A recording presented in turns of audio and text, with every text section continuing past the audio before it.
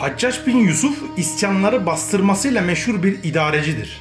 Ona zalim diyenler acaba isyancılara karşı kendileri nasıl bir tutum sergilerlerdi?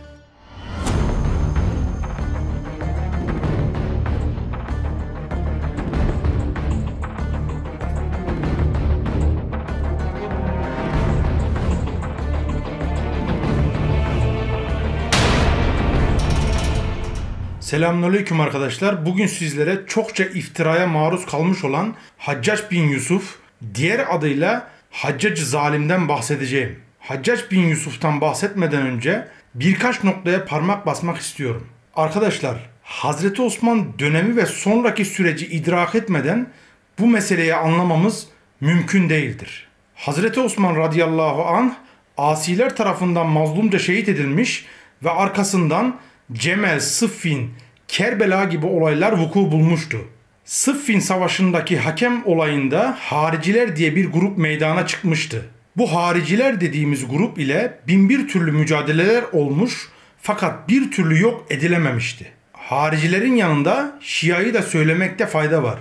Bu iki grup meşru halifeleri hep muhalefet etmiş, hep iç karışıklıklar çıkarmışlardır. Bu girizgahtan sonra asıl meselemize dönecek olursak Haccac bin Yusuf Emeviler döneminde Hicaz, Basra ve Irak valilikleri yapmıştır. Şii ve haricilerin konuşlandığı yer Irak'ın Kufe kentiydi. Kufe kenti tam bir fitne yuvası olmasıyla ve sık sık ayaklanmaların, isyanların olduğu bir yerdir. Hatta Hazreti Ali ve Hazreti Hüseyin Kufeliler tarafından ihanete uğramışlardır. Yalnız bırakılmışlardır. Arkadaşlar bu ayrıntıları veriyorum ki meseleyi çok daha iyi anlayalım. Kufe gibi fitne yuvası olan bir yere de hiç şüphesiz Haccac bin Yusuf gibi valiler ve komutanlar gerekmekteydi. Haccac bin Yusuf isyanları bastırmasıyla meşhur bir idarecidir. Ona zalim diyenler acaba isyancılara karşı kendileri nasıl bir tutum sergilerlerdi?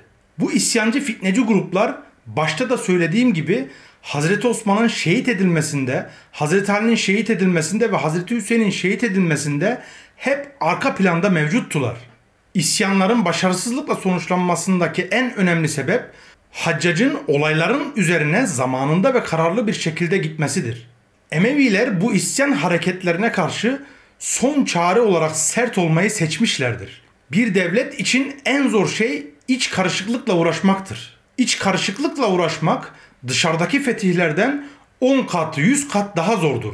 Zira düşman içeride çok rahat gizlenebilmektedir. Günümüzde insanlar oturduğu yerden tarihi şahsiyetleri insafsızca eleştirmeleri abesle iştigal bir durumdur. Haccac bin Yusuf elbette her insan gibi hatalar yapmıştır. Lakin ona karşı bir sürü uydurma rivayetlerin de ona mal edildiğini görüyoruz. İbni Kesir, Haccac bin Yusuf hakkındaki rivayetlerin abartılı olduğunu vurguluyor. Zira Haccac bin Yusuf'un düşmanlarının çok olduğunu biliyoruz. Özellikle Şiilerin ona karşı öfke beslediklerini biliyoruz.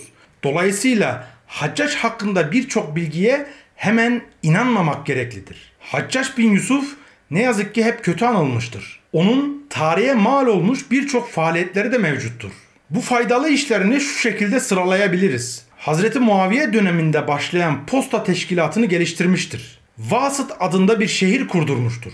Kur'an'ı harekeleme ve noktalama meselesine öncülük etmiştir. Haccac fetih konusunda çok gayretli bir şahsiyettir. Mavereün Nehir ve Hint bölgelerini fethedip İslam'ı o topraklara yaymıştır. Esasen baktığımızda Haccac bin Yusuf dünya malına tamah etmeyen mümtaz bir şahsiyettir. Çok önemli bir devlet adamıdır. Haccac bin Yusuf miladi 714 yılında vefat ettiğinde geride 300 dirhem, bir Kur'an musafı, bir kılıç, bir binek, bir eğer ve 100 adet vakfedilen kalkan bırakarak hakkın rahmetine kavuşmuştur. Buradan da görüyoruz ki Haccac bin Yusuf dünya malına tamah etmemiş bir şahsiyettir. Hemen hemen her videomda şu hatırlatmaları yapmakta çok fayda görüyorum tarihi metinleri okurken her gördüğümüz bilgiyi mal bulmuş mağribi gibi hemen inanmamamız gerektiğini özellikle hatırlatmak istiyorum. Yani şu bilgi taberide geçiyor o zaman bu bilgi mutlak doğrudur demek bizi büyük bir hataya sürükler. Dolayısıyla bizim senet tenkidi ve metin tenkidi yapılmayan tarihi bilgilere itibar etmemiz zinhar düşünülemez. Emeviler dönemi ile ilgili tarih kitaplarının ekseriyeti Abbasiler devrinde yazılmıştır. Abbasiler Emevilere karşı hep düşmanlık besledikleri için Emeviler hakkında hep olumsuz bilgiler aktarmışlardır. Ben de elimden geldiği kadarıyla Emeviler dönemi ve Emevi şahsiyetlerini taassuptan uzak bir şekilde değerlendirmeye çalışıyorum. Arkadaşlar videoyu da burada sonlandırmak istiyorum. Umarım video faydalı olmuştur. Başka bir mevzuda görüşmek dileğiyle Allah'ın rahmeti ve bereketi üzerinize olsun.